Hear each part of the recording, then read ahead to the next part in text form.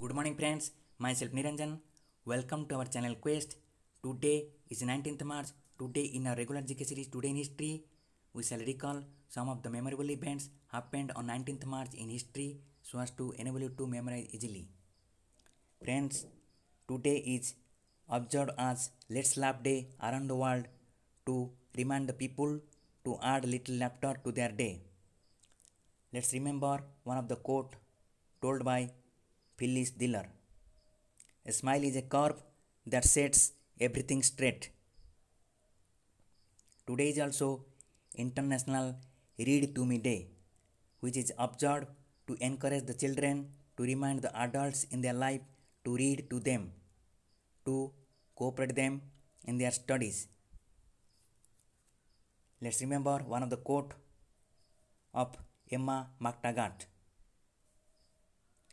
It takes a village to raise a child, and it takes a child to inspire a village. Let's start today's session of our questionnaires. Question number 1. Which Indian classical vocalist and musician from Gwalior Gharana died on this day in 1995, had set up Gandharva Mahavidyalaya, a music and dance academy, to promote the Indian classical music and dance and was awarded with Padma Shri in 1984. Answer Binoy Chandra Mudgal. Question number 2 Which Indian politician died on this day in 1982 was the president of the Indian National Congress during the transfer of power from the British government to India government. Answer जीपद Das Bhagwan Das Kripalani he is the husband of Sucheta Kripalani the first chief minister of Uttar Pradesh question number three who is the first deputy speaker and the second speaker of Lok Sabha also the fifth governor of Bihar who died on this day in nineteen seventy eight answer M.A. Iyengar, Madhusi Anantasayanam Iyengar. Question number 4.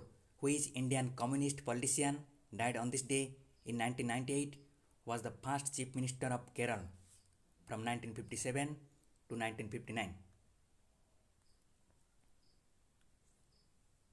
Answer: E.M.S. Namboodiripad. Elamkulam Manakkal Sankaran Nambudiripath. Question number 5. Which year on this day Australia beat England by 45 runs in the first international test cricket? Answer 1877. Question number 6. Which treaty was signed between India's Prime Minister Indira Gandhi and Bangladesh Prime Minister Sheikh Mujibur Rahman on this day in 1972? Answer Indo Bangla Treaty of Friendship, Cooperation and Peace. Question number 7 Who recorded the first footage with their newly patented cinematograph on this day in 1895? Answer Lumiere brothers Auguste and Louis Lumiere. Question number 8 Who became the first woman to win Abel Prize on this day in 2019?